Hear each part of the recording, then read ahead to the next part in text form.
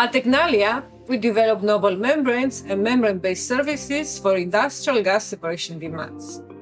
Membrane technology is key to increase the efficiency, reduce the operating and capital costs, or reduce the physical as well as the environmental footprint for targeted separation.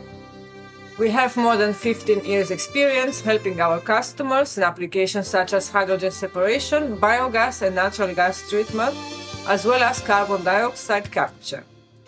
Today, we will explain the process we follow when we develop a hollow fiber membrane for a certain application.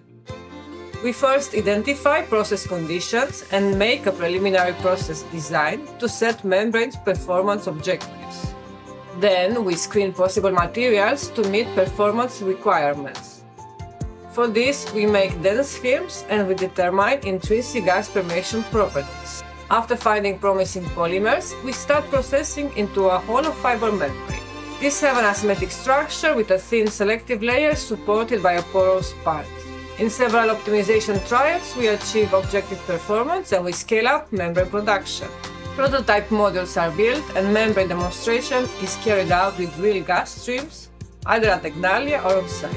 Are you a polymer company and you want to understand if your material is suitable to be used as a membrane? Are you an engineering company or end user and you want to screen materials for a certain application? Do you want to test membranes under real process conditions? Do you need support to optimize the process design for your application?